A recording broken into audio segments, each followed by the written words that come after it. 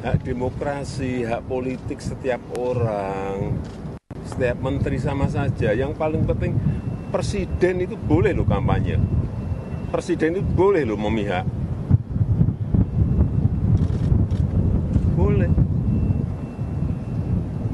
Tapi yang paling penting waktu kampanye tidak boleh menggunakan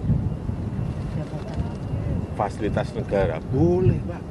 Kita ini kan pejabat publik sekaligus pejabat politik. Masa gini nggak boleh berpolitik, nggak boleh. Menteri juga boleh. Sebut presiden boleh kampanye dan memihak. Anies Baswedan pertanyakan netralitas Jokowi. Karena sebelumnya, dilansir dari kila.com, Sebelumnya yang kami dengar adalah eh, netral, mengayomi semua, memfasilitasi semua. Jadi kami serahkan aja kepada masyarakat Indonesia untuk mencerna dan menilai. Ya enggak apa-apa, kalau presiden mengatakan begitu silakan aja. Anda mau ikut atau enggak itu kan terserah. Tapi kalau menurut aturannya seperti apa, Prof? Aturannya, Prof. Etikanya gimana secara ketat? Enggak, nanti tanya ke ke anu ke, set- ke apa namanya Biro Hukum Sekretaris Negara aja.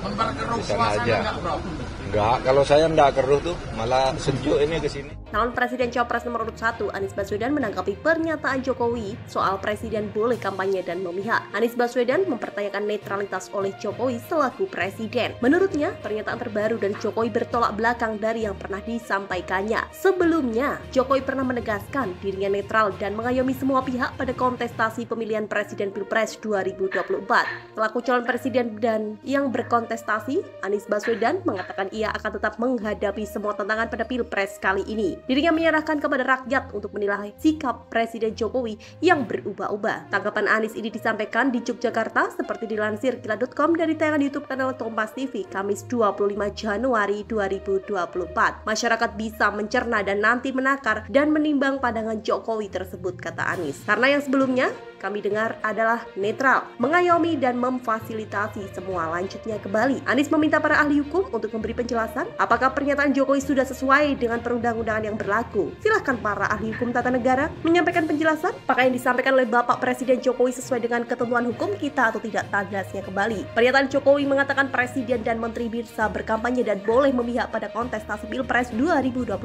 Meski begitu, Jokowi menegaskan kampanye yang dilakukan tidak boleh menggunakan fasilitas negara. Presiden itu boleh loh kampanye.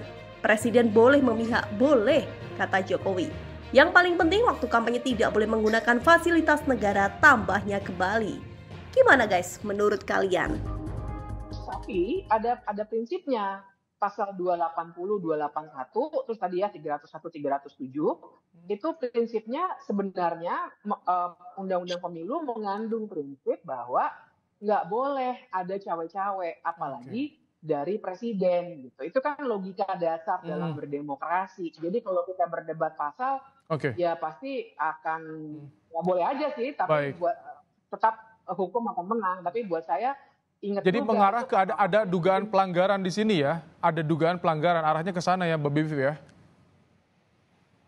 Iya, iya. Eh, Oke. Pak, ada pelanggaran itu dan itu termasuk perbuatan tercela ya Oke. saya.